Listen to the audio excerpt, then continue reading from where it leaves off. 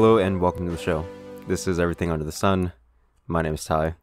Hope all of you have been doing so, so incredible. I know it's been uh, almost two months now since the last episode, and yeah, I, I kind of took a break. It was kind of impromptu. I really didn't expect it. I actually initially had a guest that was going to appear on the next episode for the show, and we never ended up recording, and I ended up going off island away from home where I live for about a month and a half, and and didn't record while I was away. So, yeah, didn't mean to uh, just kind of leave unexpected, but yeah, it, it, was definitely quite the journey. There's been a lot going on in the past few months. You know, I, I had some stuff that came up. I was telling y'all about the the health stuff that came up, and it was, uh, I guess, I mean, there there were a few things, but one of the most prominent things that was most of uh, the concern being involved with my health or my immediate health was the diagnosis of cancer that was uh, that was given to me. It was a rare type of cancer, and it was looking like it spread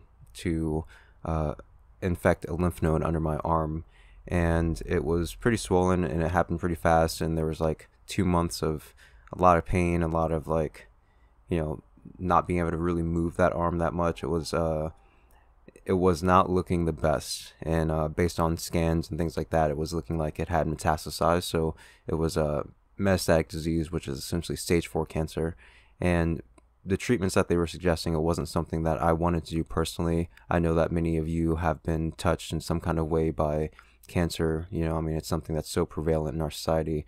And, um, you know, I'm, I'm really hoping that we can find better means of helping individuals. But the practices that they wanted to do like the chemotherapy or radiation it wasn't something that i wanted to do based on the other tests that were done. You know they did tests on my heart and my lungs and stuff and um, it basically just wasn't something that felt right for me. And I, I fully advise everyone to go about their own path and their own journey on whatever medical direction that they want to go in. I, I don't think that that's for anyone else's business or anyone else's say. I mean you can obviously take into consideration thoughts of friends and family but ultimately it's your body, it's your decision, it's it's your choice. And my choice was that I didn't want to do that. So I kind of made that pretty firm in my mind and decided to take a trip. I, I was planning a trip to essentially see all my friends and family and tell them about, you know, you know what was going on and that I was going to just travel. My my plan was kind of just like stop working and just travel. You uh, know, first off, see family and stuff. I ordered my passport weeks before it actually just got in but I ordered my passport like weeks before I left for the trip, and yeah, that, that was my plan, and I had that all kind of set out already. So after after all that stuff was happening, I was kind of just planning what I was going to be doing down the line, and you know there was a lot of processing that was happening throughout that time. I was very, you know, obviously thinking about death. That was a very huge concept that was on my mind during that time, obviously, and you know, I I feel I feel very fortunate because I feel as though if this were told to me years ago, I would have, I don't know what would have happened. Like, I feel like I would have spiraled down deeper into a depression. Like, I, I've mentioned on this podcast the depression that I've gone through. And, you know, I feel like if I were told this before, I would just spiral down and I don't know what would have happened. But I feel very fortunate right now because I feel like I've come to a place and it's taken so much time and taken a lot of work. And, you know, it's like the work that we all do each and every day. Each and every one of us do this work and it's taken me a lot of time but i feel like i'm in a place where i feel grounded. I feel like my feet are firmly planted and obviously being told that you have this cancer and that's spreading and you know it's stage four like that's something that definitely seems like it would knock you down. And throughout the entire process i think i i felt so grounded that it didn't really it didn't knock me down. It didn't make me feel bad about anything. You know, it was obviously processing very heavy things and and big things, but it was never something that really made me feel like you know, oh, this is it. Like you know, I, I'm gonna I'm just gonna like wallow in this. You know, like it was it was never me kind of diving into those negative thoughts, but definitely those deep concepts like death and what what my family and friends are gonna think, what what all these different things are gonna happen. Like if you know, I ended up, you know, passing on from this. And and that was something that obviously like I had to come to terms with and really think about. And I'm also very thankful for this experience because it allowed me to think about that in a in a way that I don't think many people have the opportunity to think about. And and I came to peace with death. I came to peace with the the realization that you know I may not live as long as I thought I would, and you know I, I do believe in eternal life. I believe like not eternal life like in in heaven or anything like that. I mean like right now, like we are eternal beings. Like I, don't believe that we die. I, I believe I believe the body may stop being animated, but our beingness will always be, and and that's something that that I know for myself and never at any point I want to feel as though, or I want you to feel as though I'm telling you how to live your life or telling you what to believe. This is just my own experience. This is my own journey. And I want to share this journey because it has been a journey that's allowed me to feel very grounded, allowed me to feel at peace, despite, you know, being told essentially that you may not have very long to live. And in this time of me contemplating death, I also realized how I was feeling. And I didn't feel super tumultuous. Like there were of course like big emotions that would come up like in waves, but it would never be so overwhelming that I would start to break down and cry or anything like that. It would just be something that I noticed. And as I started to realize, I'm like, this is a very heavy thing and and how far have I come just in my own recognition of like just this journey that I've been on where the smallest infraction would have caused me to break down to being you know essentially told this heavy thing and and feeling still very grounded in in just my beingness and and and being okay with with what's happening and just processing it as it comes. And that's the only thing that I, I kept reminding myself of. I was like i can't i can't control anything that's happening right now and i was like i can be really upset about this fact that you know you know again like i may not live as long anymore but you know i can also get hit by a bus. And that can be the one that takes me out instead of like cancer or whatever it is. And and i just keep reminding myself of that because that's something that i feel is is something important to remember because we can we can wallow in something that hasn't come yet. We can wallow in the past of something that's past but right now is when we're experiencing it. Right now is when we're experiencing that pain. And we can choose for ourselves what direction we want to go in what what path what thought what belief we want to start you know giving life to because that's what we're doing when we're giving life to these ideas like i'm not good enough or you know this is not going to be good for me or whatever it is that seems like it's unpleasant. We can dive down that avenue but we can also dive down another path. And oftentimes we don't even know that's an option. I know that i didn't know that was an option for so long. And now that i do know that's an option and i'm so thankful again like i know that's an option now in this time that you know like this this was being confronted to me that it didn't it didn't move me and I felt very confident in being able to move forward and I felt the heaviness of that that death you know it's something that we carry all of us carry it and I didn't even realize we carry it and I didn't realize that we carried it to the degree that we do because even in the midst of you know feeling carefree and joyous in our lives and and really just living our lives and living our passions and kind of just moving forward in life we don't really think about the burden of death. We you feel like so we're so wrapped up in other things in the world that we don't really think about the livelihood of our bodies, but it's something that is really within everything that we do. It's something that it's it's a weight that we carry. It's like the the value of keeping this body preserved. And it's something I mean even biologically like it's just like innate within the biology of the human body. Like it, it it's something so intense. But as we are confronted with death in some kind of way, it really raises that awareness of like what does this mean for me? And that's what it did for me. It made me kind of realize what does this mean for me? Yes i know that we're all eternal. I know that you know like we are eternal now and all this other stuff but i also recognize this life of you know being a human being in this world with loved ones and family and and you know experiences that i definitely wanted more of. So it was definitely a lot of processing but i do feel as though that recognition that I can go down another path. Like instead of thinking about all the things that I wouldn't be able to do, I can think about all the things that I can do right now. I can think about the the the amount of love I can give right now. I can think about the amount of happiness that I can experience right now. And you know, let that be the moment that I live in, each and every moment that I can, because I don't know how long those moments are going to be. And this was again the process that I was going through and I was podcasting throughout this entire time like there were a lot of things that were happening and I was just kind of focusing on the realization that the only thing I can control is this moment right now and the only thing I want to give is is love and, and positivity and connection and as much truth as I know for myself through my experience and allow others to experience that and and if it's not until like years after I'm gone that anyone listens to this podcast that it but it still does something then hey like that's that's something that's incredible and I'm very very thankful for that and anything that that could come from it but so I, yeah I was podcasting throughout that entire time and and again like it wasn't something that burdened me it was something that that weighed me down. So again as I'm moving forward towards this trip February happened my last podcast my friend came to visit and essentially after my friend left I was leaving that same day. We both flew out the same day to leave to the mainland and during that time again I, I didn't podcast but just before that trip it was like uh, the Friday before I was leaving that Monday, and then the Friday before I get a call from my doctor because I had just got a biopsy done and a PET scan, like full body PET scan done, and the PET scan did confirm that the growth under my arm was cancer because it lit up in the PET scan, but the biopsy showed that it was just an infection, so that the lymph node was just infected, which was a completely different story, meaning that the cancer didn't ha- didn't spread essentially, and the lymph node was just something that can be taken care of with like an antibiotic or something.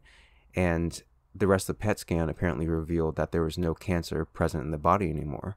So the original diagnosis and the biopsy that was taken that did diagnose it as cancer, uh, apparently the cancer is no longer present. So it was obviously a huge relief and a huge kind of weight that was taken off, but also I didn't really dial it in as to what that really meant until weeks later because it was still a lot that I was processing for the past few months. You know, it was it was a lot of this looking at this and, and seeing if it spreads and seeing how to really manage it and and then it went from all of that seeing a bunch of doctors you know speaking with cancer societies of like folders and all this paperwork and stuff and and going from all of that to you know it's no longer present there's nothing that we have to really speak about my oncologist said you know there's not really much that we have to do anymore between meeting and appointments with her. So, you know, it, it, was kind of just a huge, a huge shift that happened. Obviously, my main doctor wants to keep an eye on it and make sure that nothing else happens. But essentially, you know, it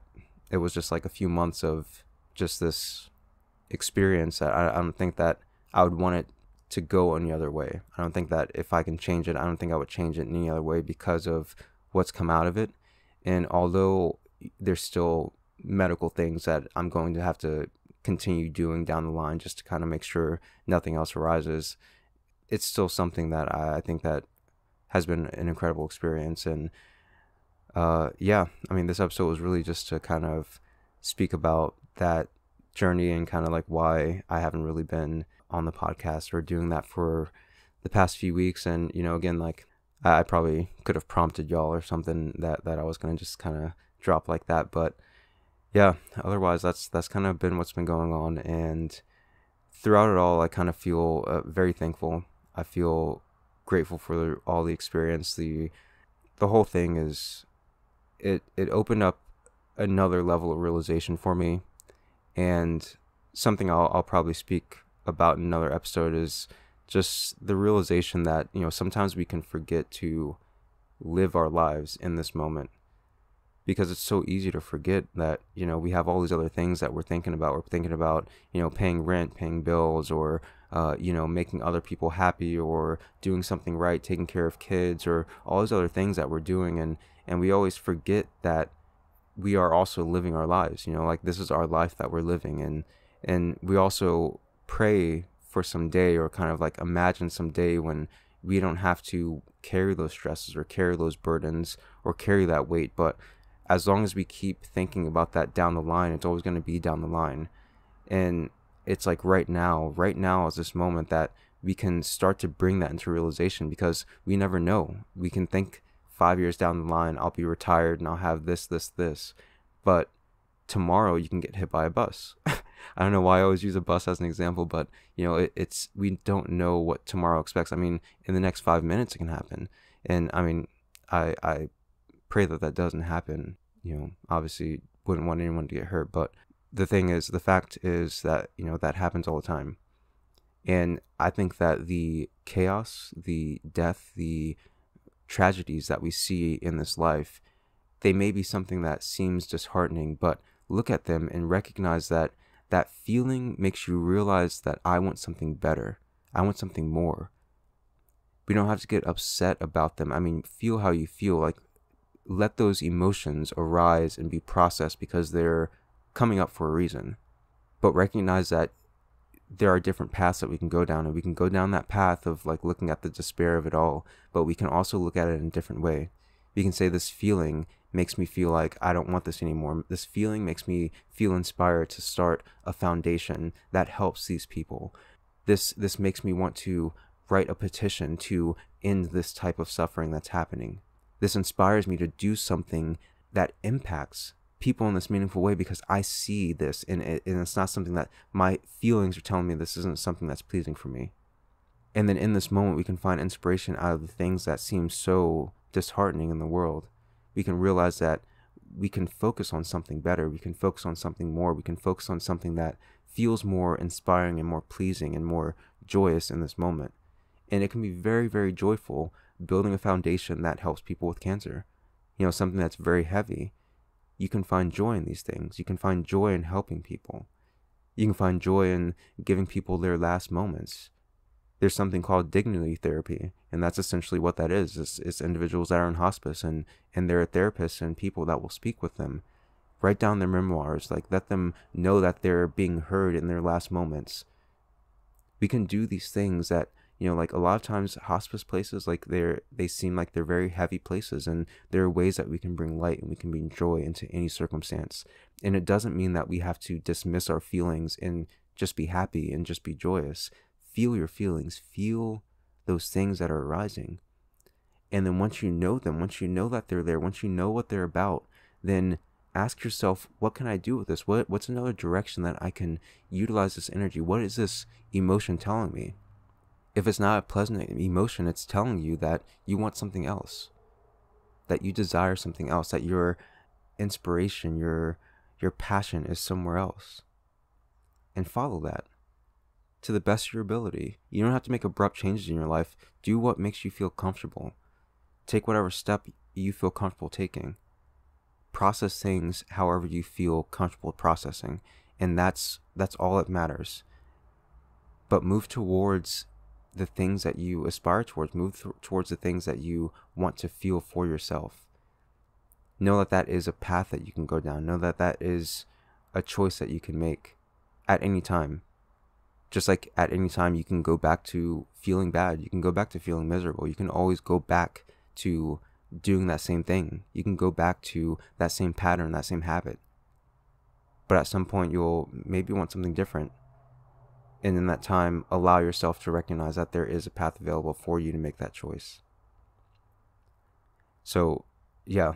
Again this has been a, a wild few months um, and even though that was the beginning of my year and the start of my 2023, I firmly believe that this is going to be an incredible year of incredible transformation, not only for myself, but for all of us.